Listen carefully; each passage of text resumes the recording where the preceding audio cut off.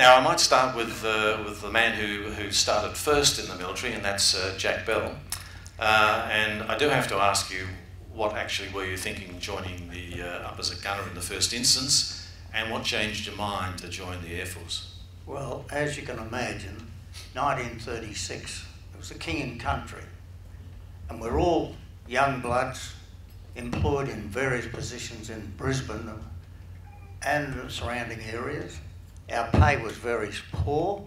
I think my pay then was about $44.80 a week, I think. And the opportunity came to join the, the army. So my friend and I, we went up to Kelvin Grove and joined there and they gave us eight shillings a day as a reserve military and trained as a, I was trained as a gunner. Uh, and we had these 18 pounder cannons things that were drawn by horses. I was a driver on the horses horse team as well. And we used to be able to go to Rosewood every year for a camp for 10 days, which meant 80 shillings, which was a lot of money.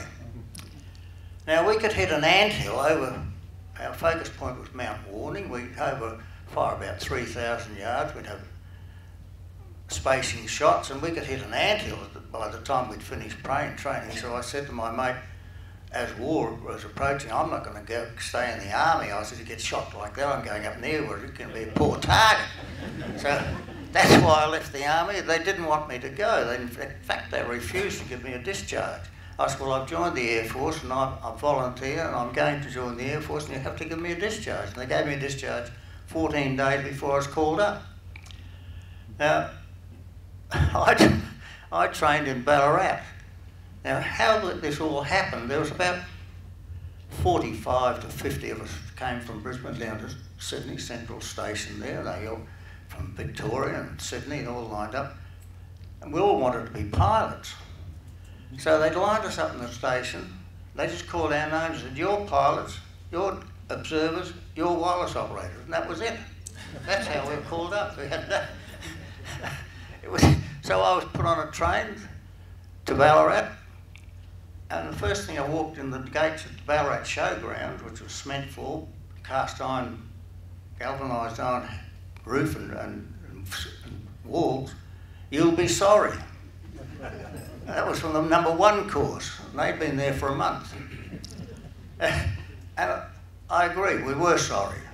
Because we didn't have any blankets coming from Queensland where it was nice and warm.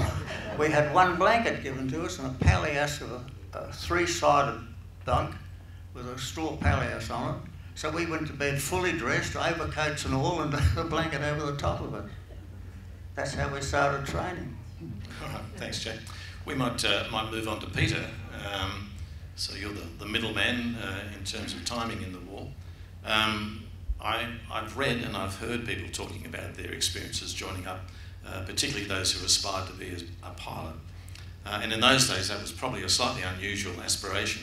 And some of those guys hadn't even learned to drive a car, and they then aspired to fly an aeroplane. So, what was it that, uh, that actually made you want to join up as a pilot?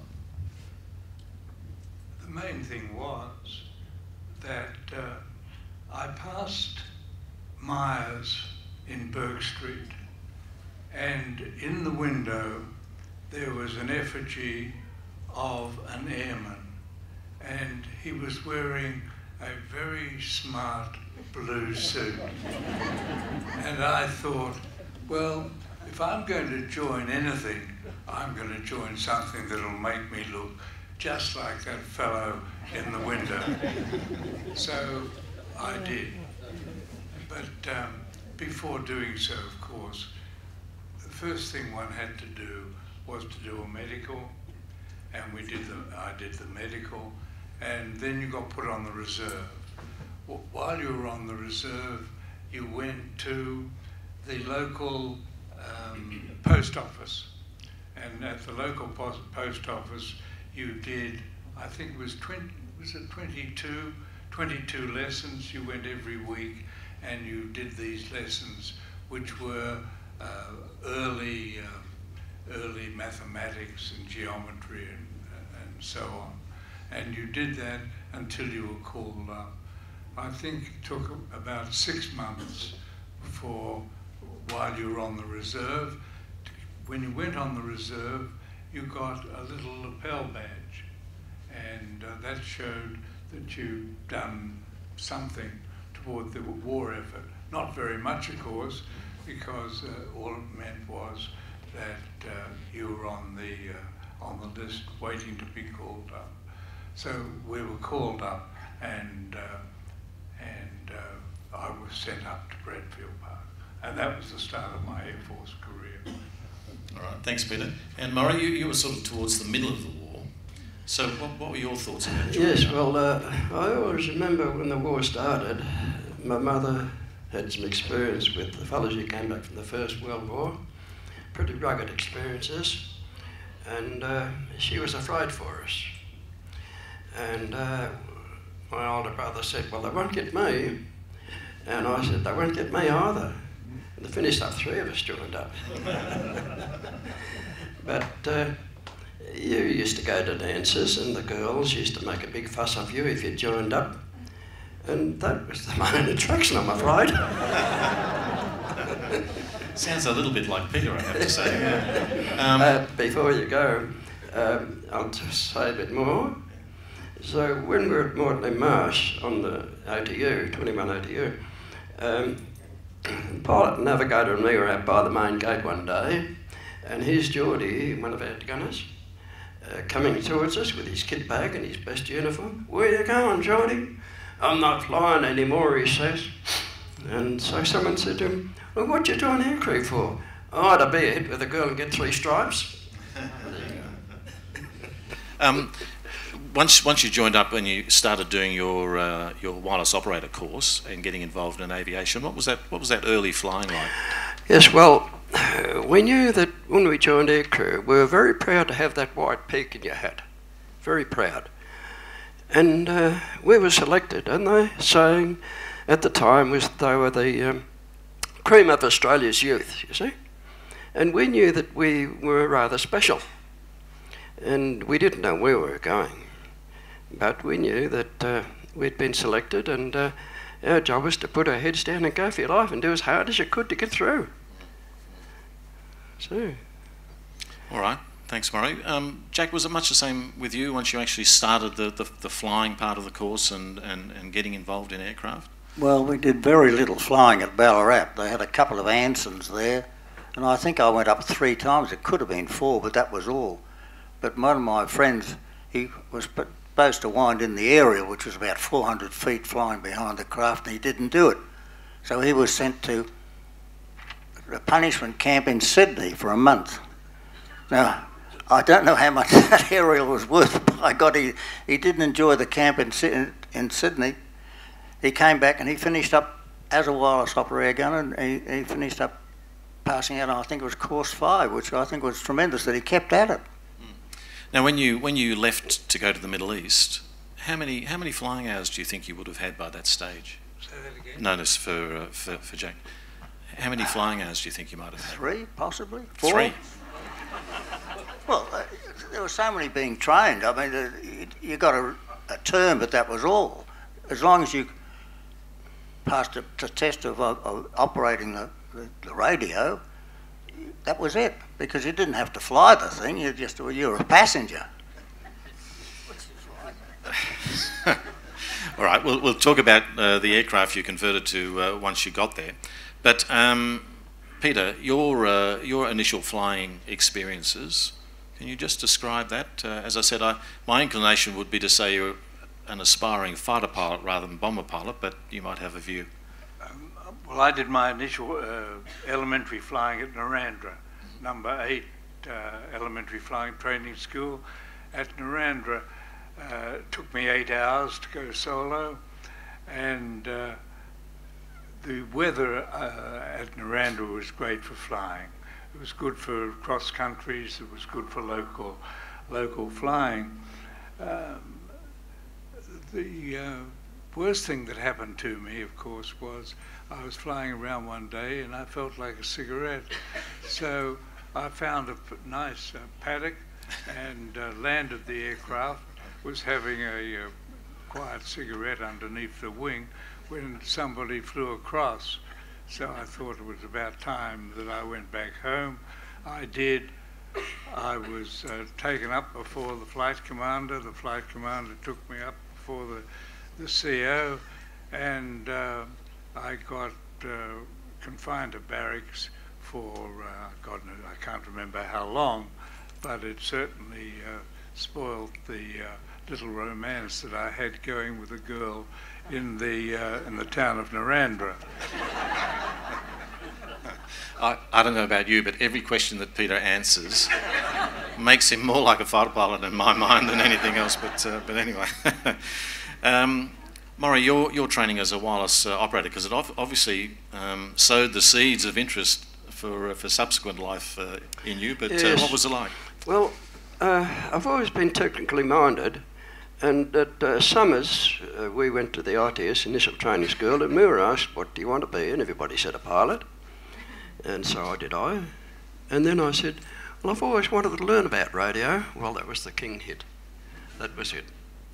So up to Ballarat and started the training, and uh, I've kept at it.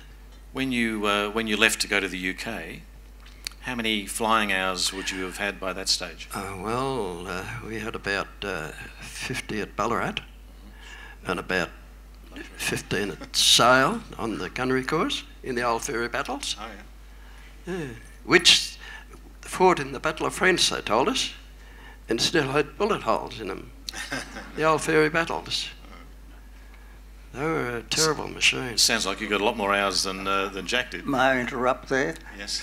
I went to Evans Head to do the gunnery course, and we had 16 Fairey Battles, and only three were serviceable. And like Murray's, they were full of holes.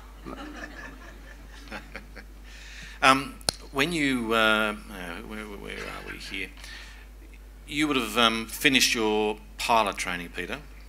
Where did I finish? Yeah. I finished in Canada, number uh, two uh, service flying training school at uh, in Ottawa. Were you there in the summer or the winter? I was there in the summer. Ah, it was great. It was beautiful weather, and uh, flying over the, uh, the the lakes, the Rideau Lakes, it was great. And did you know when you graduated from there what aircraft you were going to fly? No, no. Um, I, I trained on Harvards, and uh, when we got to England, I did a beam approach flying training, and then got uh, uh, posted to uh, Lichfield. I've forgotten what the number of the the uh, what was it? 27, that's right, 27 OTU. Ah, you're going to tell some stories about Peter? See, that's why I took a whaff out. Might have been you.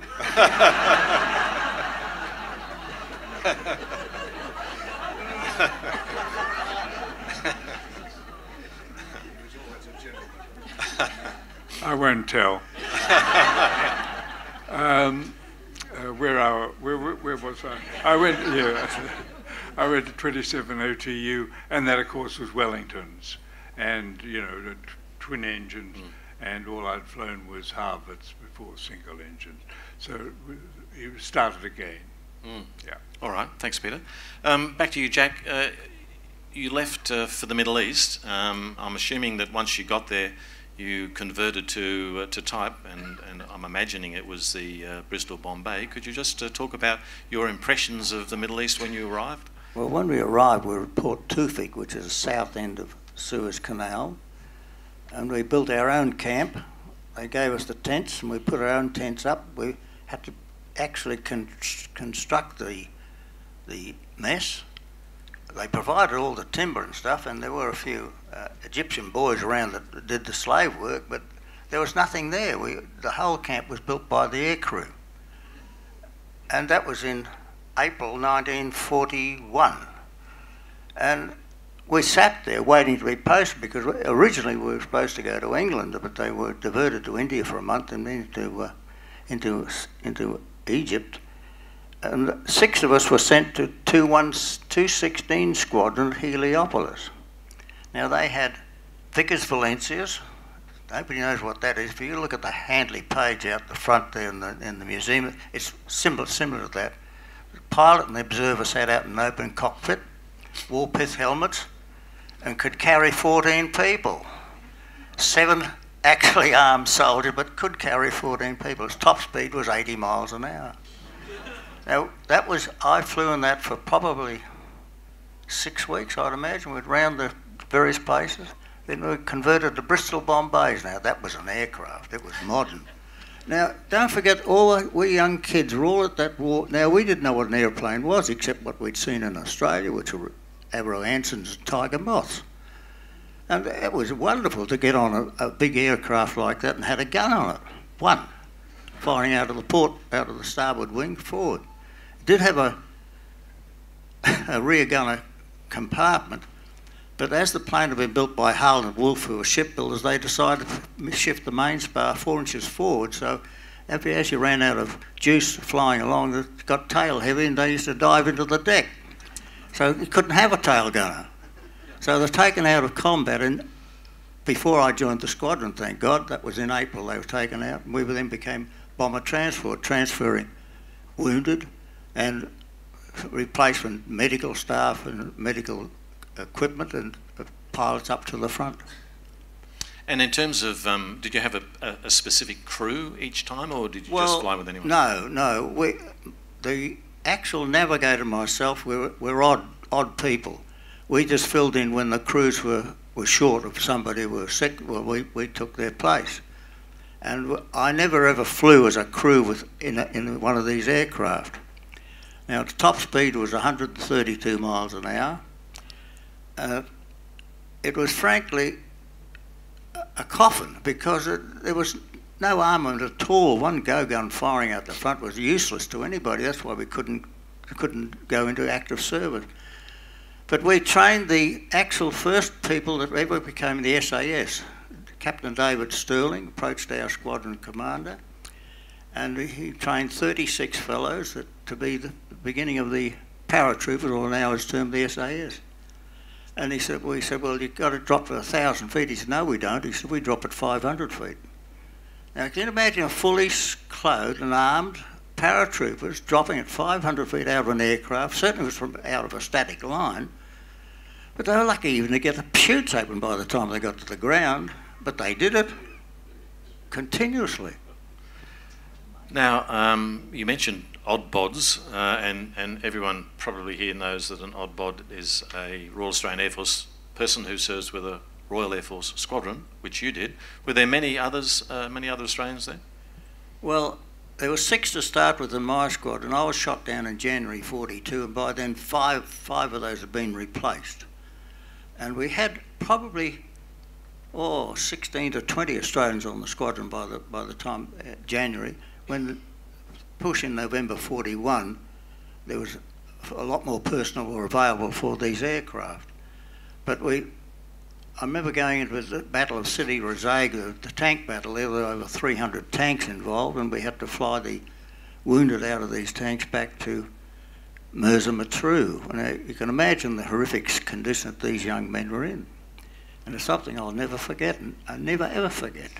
It was shocking hardly anybody survived out of that, that lot, one or two maybe. All they wanted was a drink of water, and they weren't allowed to have a drink of water. It was terrible flying them back. Uh, Maury, back to you. Um, you uh, finished your training and were posted to the UK and went to uh, 460 Squadron at Binbrook. Yeah, I was just thinking, you know, these things come to your mind. You're part of it, part of the whole thing. But when I was at Ballarat, uh, the, that's where they got the straight gunners from. Uh, they about 60 would start, uh, six months course, and after about three months, those who couldn't keep up with the Morse, uh, then they had the choice of either being a tail gunner or going to ground staff. That's what we were told. Uh, but uh, something happened that I thought about it, and I thought I'd tell you that one time uh, I went up in the old Wackett trainers, and they were very, very good aircraft, very good aircraft. They couldn't get any aircraft from England hardly, and uh, Air Vice Marshal Wackett designed that aircraft. But uh, I'd finished my exercise, and uh, the pilot said, uh, You finished? Turn around, yes. So then he let go, and he leaped the loop. he leaped the loop three times, and I'm in the back. Go on, though. That would have been an interesting experience, not Oh, expecting it, I imagine. Look, you don't know where the sky is. You don't know where the ground is. you don't know where you are. So you got to Binbrook, Got the 460 Squadron. Yes. Tell me what your first impressions were. Well, my pilot told me that it was a pretty hot squadron, a famous squadron, and uh, as the history tells you, they dropped more bombs and had more casualties and more decorations than any other squadron in England. Uh, we knew it was a top squadron, and we were proud to be there. And uh, we just carried on from there. How was your crew selected? Pardon? How did your crew come together? Yes. Well, that was the, how all crews were crewed up. They put you in a big hangar in uh, at Moreton-in-Marsh, 21 OT, Operation Training Unit, and said, righto, make your own crews. So I was just standing there and not uh, making any move. And my navigator came up to me and said, You got a crew? No. You want to fly with us? All right. That's it. Pretty, pretty scientific.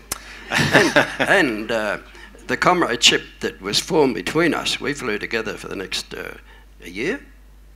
Uh, my tail gunner was worth 20 houses and he never told us. Uh, very simple, honest bloke. Uh, pretty wild customer too. And uh, he died a little while ago, and uh, I'm still in touch with his wife and his family. But the comradeship uh, is something that uh, each one who flew in Bomber Command tasted, and uh, you'll never taste it anywhere else.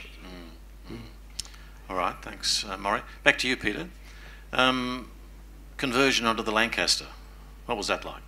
Oh, the conversion onto the Lancaster was relatively easy. Uh, we'd been on the Wellingtons and almost finished a tour uh, on the Wellingtons, and they converted us first to the Halifax.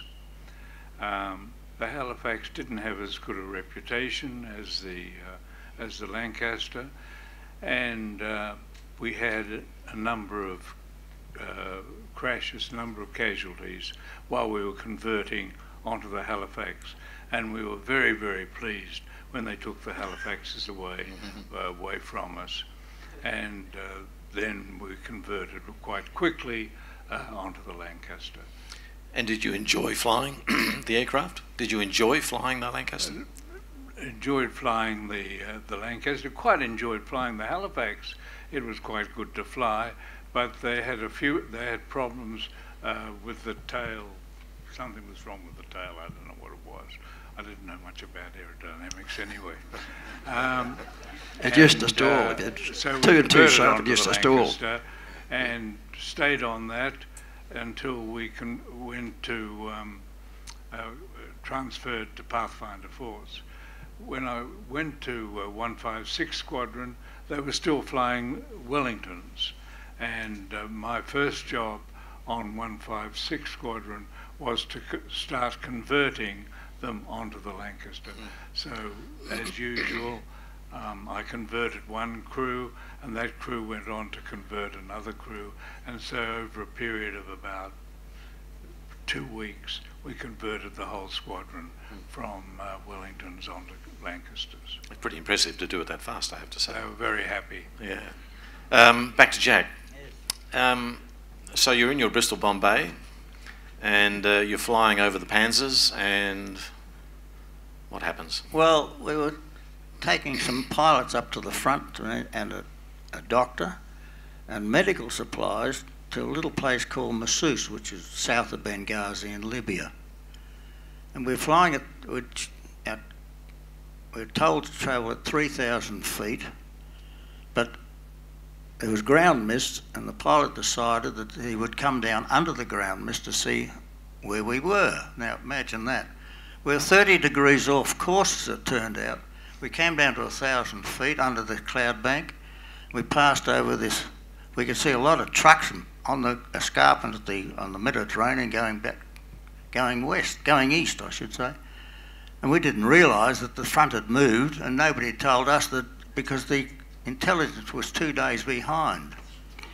So we were shot down, but went over the 15th Panzer Division, which was a replacement. of- There was probably 24 to 30 tanks, plus all the armoured vehicles and everything else there.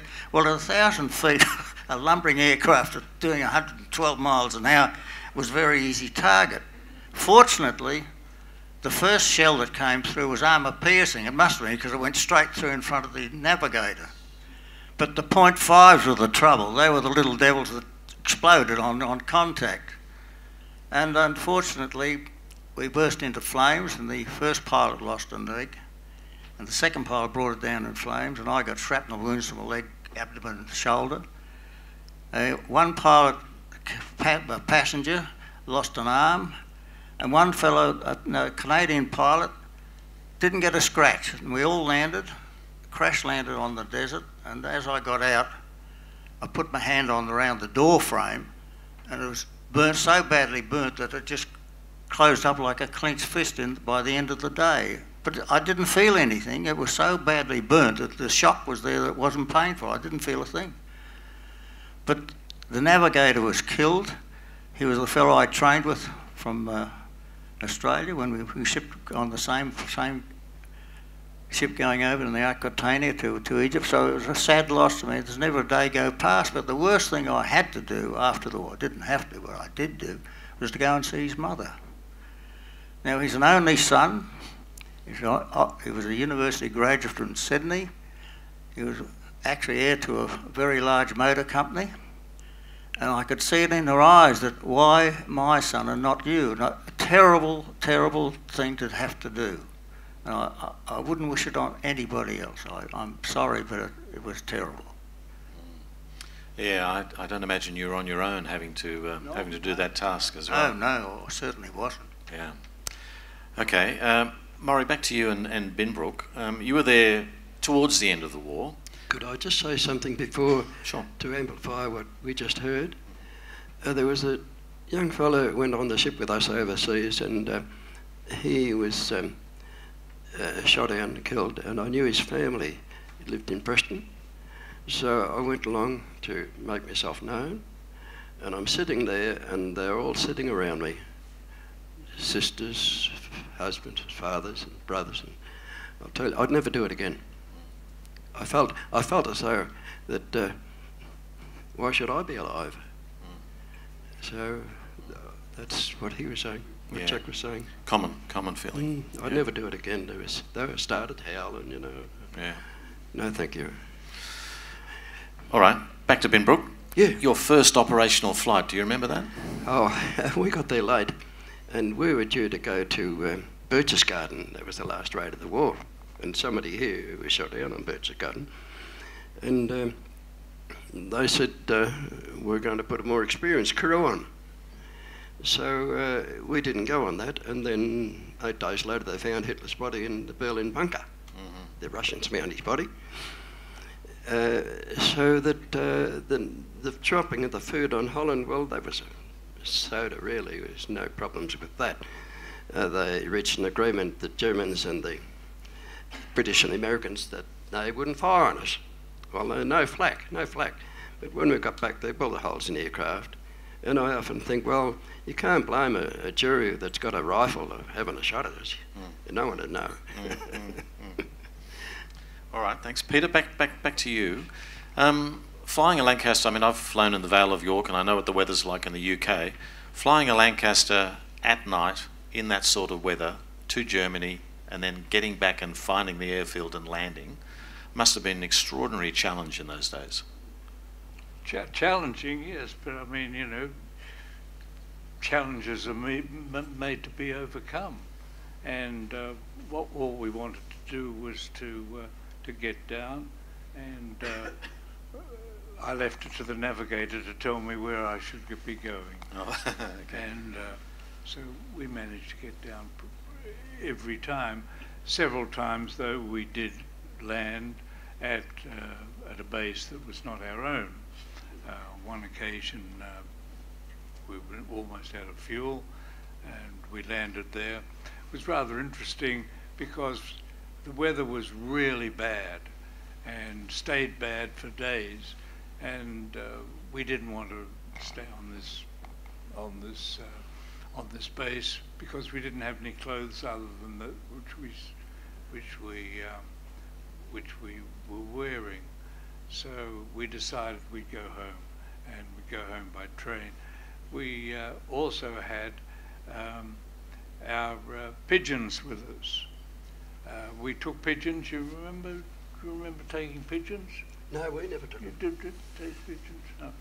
Anyway, the, we, we, we had pigeons, and the idea of taking the pigeons was that if we came down at sea, we would uh, put uh, a, uh, a note on the, uh, on the leg of the pigeons, giving them uh, what uh, the approximate position we thought we were, and send the pigeon home, and hopefully it'd get to uh, back to our own base, and then they would send a, a flying boat or something from the Air Sea Rescue Service to come and pick us up.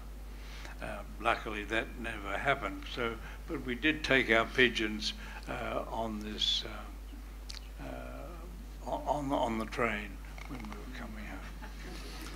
I think it would have been a bit of a forlorn hope with the pigeons. I think they might have been uh, might have been uh, there in case you crashed and needed some tucker. But uh, we were talking about crew selection uh, earlier on. You'd like to talk about uh, your crew selection and, and how the dynamics worked in, amongst the crew on an operational flight?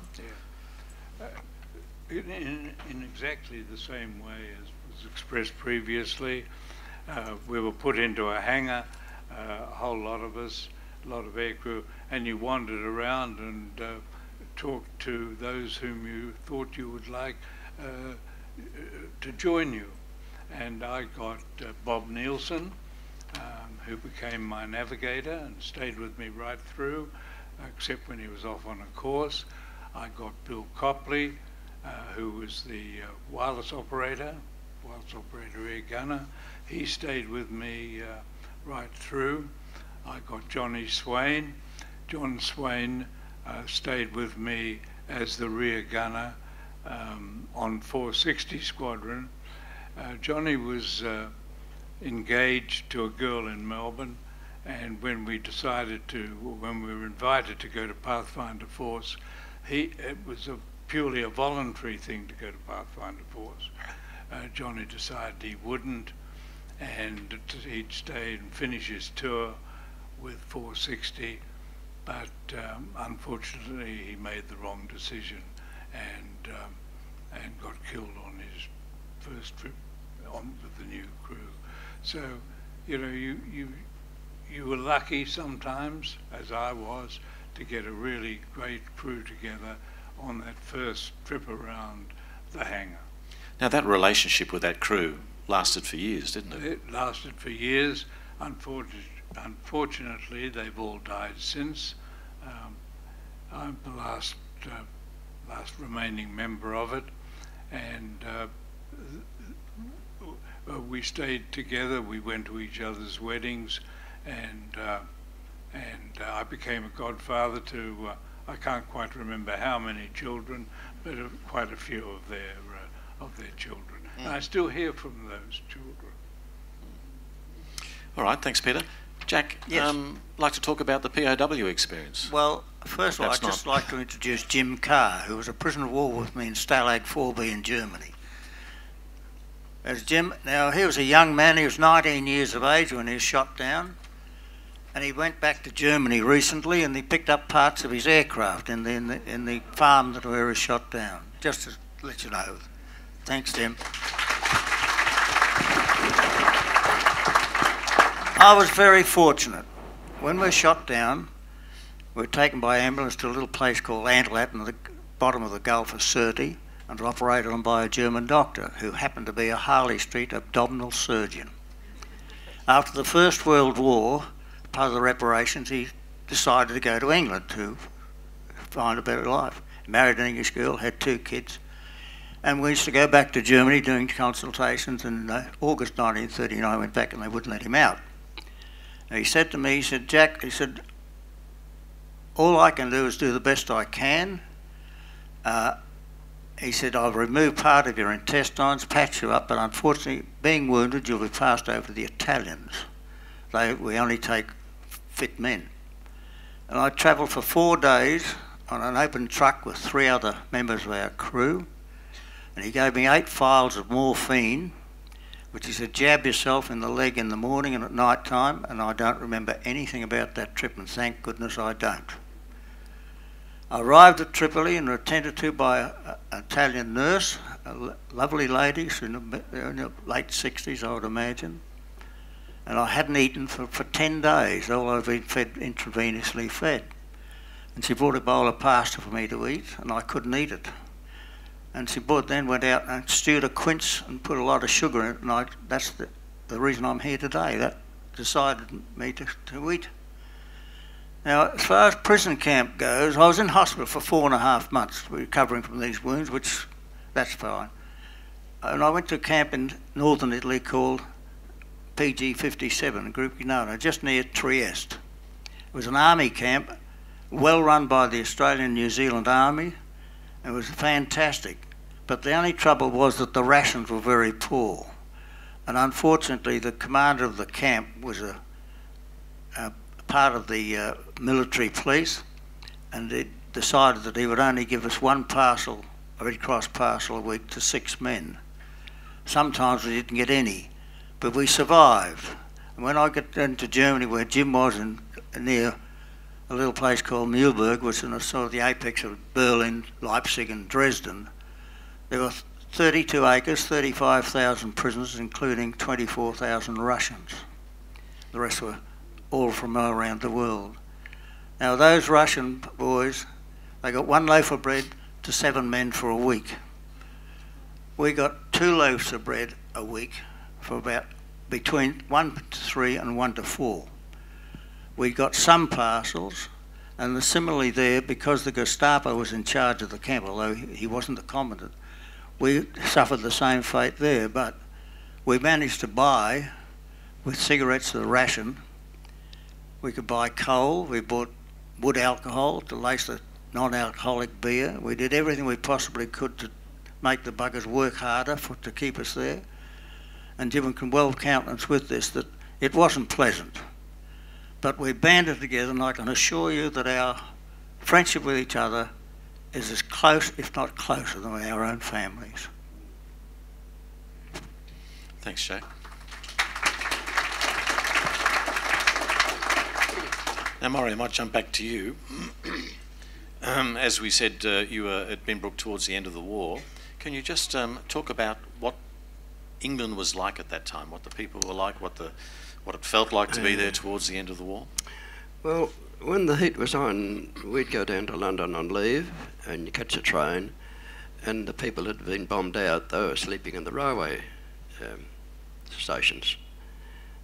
Uh, and each one had his own spot or her own spot each day, each night. Uh, that's what it was like when uh, the Germans were bombing London. Were all the stations were filled with people sleeping on the stations underground. But uh, as uh, that all faded away and they didn't come over and bomb, and then uh, they didn't sleep on the railway stations after that, but there was this general atmosphere of knowing that uh, the, the finish of it was wasn't too far away, and they were breathing a sigh of relief. I could feel that. So on um, VE Day, we travelled. We had a week's leave or a few days leave, so the whole station had a few days leave. So I went down to London, and. Uh, I was outside Buckingham Palace, and there were about, oh, 30,000 people there, all singing out, We want the king, we want the king. And he had only been out about five minutes before, and um, that was. Uh, it didn't worry me too much. But uh, there was a general feeling that uh, it wasn't, wasn't too far away, the surrender and uh, a great feeling of relief. A great feeling of relief. And I guess you were pretty keen to get home. Well, they called for volunteers for the Tiger Force. Um, and my crew volunteered, so I thought I'd better too. And it was to bomb Japan, fly the aircraft out to Okinawa. And uh, I found out later that they were going back through America, flying that way. Uh, and um, I looked at the map one day, it's 500 miles from Okinawa to Japan. And if you were shot up, nearly two engines going, and you ditched in that ocean, you didn't have a chance. But uh, then things were rather uh, unsettled. Uh, there wasn't much enthusiasm. Nobody tried too hard to with your training. You were flying all the time. But they knew something was going on. And then when the atom bomb was dropped, that was the finish. Alrighty, thank you. Peter, back to you. Um, Pathfinders, um, um, I guess we could perhaps get your views on area bombing, precision bombing, Pathfinders, uh, what was involved in being a Pathfinder. I mean, I think you spent a lot more time over the target than most, probably. Um, the, the, the purpose of Pathfinders was to direct the main force into the right place to bomb. You know, Bomber Command had been going for quite a long time before it, made any discernible difference to the war effort, uh, mainly because uh, the uh, crews were not thoroughly trained. Uh, they were put off by the weather. They were put off by uh, the anti-aircraft fire, and they were put off by fighters. So some means had to be devised to stop uh, or to improve the results, and that was the reason for the formation of uh, Pathfinder Force under the command of an Australian, uh, DCT Bennett. And uh, DCT Bennett got together five squadrons to start with. Squadron of Mosquitoes, squadron of uh, two squadrons of Lancasters, one of Halifaxes, and one of Stirlings. And um, we uh, were given uh, some additional training, and the crews that were put came to Pathfinder Force had all been with main force for some time. And so uh, it was our job to uh, find the target, identify the target, uh, and to maintain uh, the position of the bombing uh, through the raid. And uh, so there were aircraft pathfinders that went in and made sure that the target that they were bombing was the right one, and uh, they uh, dropped flares, and on top of the flares, the main force came in, and the job, the main force job, was to bomb on those flares. They were not supposed to uh, make their own decisions as to where they bombed. Now, pretty dangerous stuff. Um, did you think about it or did you just do it? No, no more dangerous than anyone else's. Pro- probably exposed a little longer though. Well, uh, you, you you you were exposed by yourself for a while until you until you dropped your you know dropped your flares, um, but uh, having done your job, you got the hell out of it. okay. Uh, Jack, back to back to you. You can have a word if you yes, like. Yes, we appreciate it, didn't we, Jim? We used to see the, see the flares go off.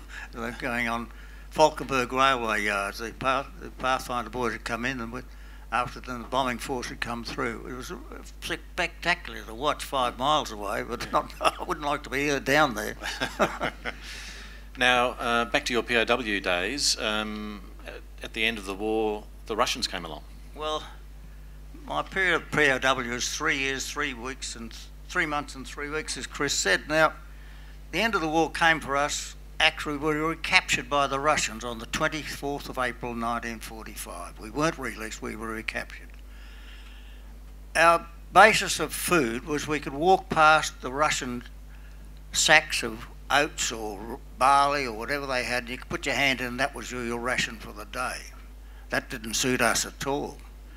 because we're used to having some sort of food, even from the Germans. We did have a little bit of bread, but the Russians, you must look at this way, that the Russians were treated the Germans exactly as the Germans had treated them, and it was unfortunate. 60,000 Russians died in our camp alone. Now that's incredible. But the food was enough to subsist on.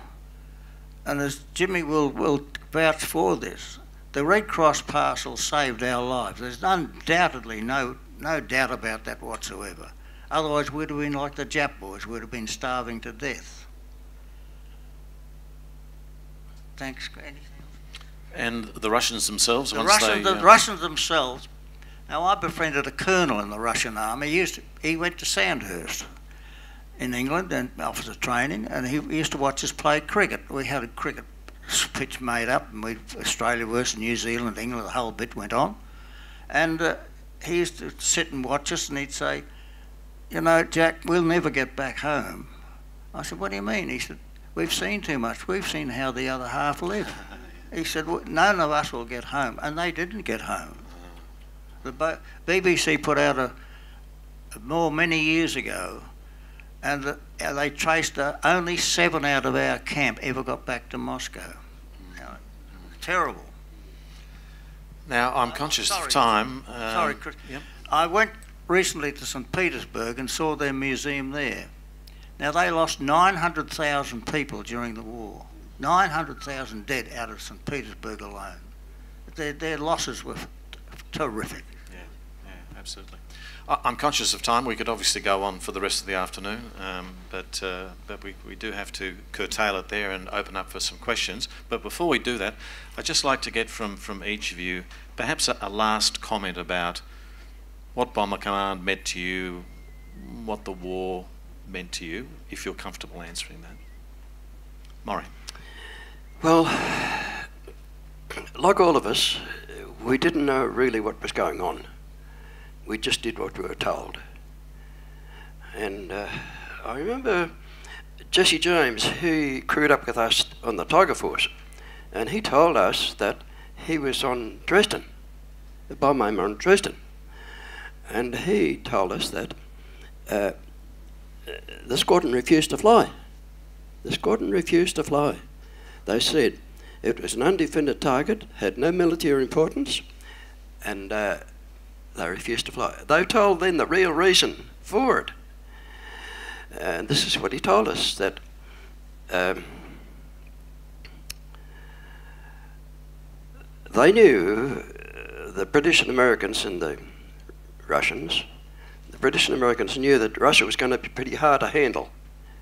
They agreed to the division of Europe, but they never expected the Russia to stick to this. And this is what they were told at briefing that uh, if you don't play ball, you'll cop it from Bomber Command. And Russia never had a Bomber Command because Russia was all the time appealing to Churchill to bomb more of the Eastern German targets to make it easier for them to advance. So uh, I rang up the Sun one day. I said to them, Look, here's a chance that you can find out what happened at that briefing day. When they were told the real reason, they went and did it. Uh, the reporter laughed at me. He didn't want to know.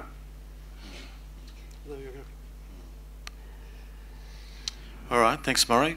Peter.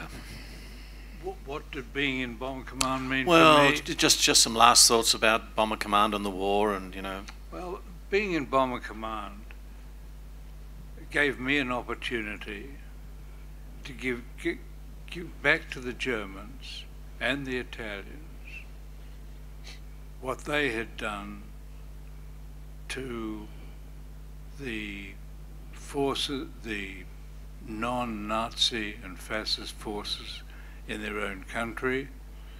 And of course, uh, being Jewish, it gave me an opportunity to give back to the Germans what they had done to my co-religionists.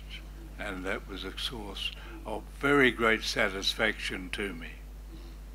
thanks, Peter. Jack. Well, I can vouch for Murray's words about bombing Dresden. One of our guards was, we, his name was Smith, Smith, and he lost his entire family in one of those raids. 16 members of his family. He's left, and he was an old and bold from the First World War. Now, as far as from my experience of the war, it was a great adventure to start with, but we realised that we were fighting for mankind against a very, very, very, very arrogant and very, very good armed force in Germany. Italy wasn't so bad, but Germany, we knew that they were, they were tough. But the greatest thing that I learnt from that war was tolerance. Mm-hmm. Absolutely tolerance. I welcome all these migrants that come here today. I'm very happy about it. I'm pleased to see them here. And thank you very much.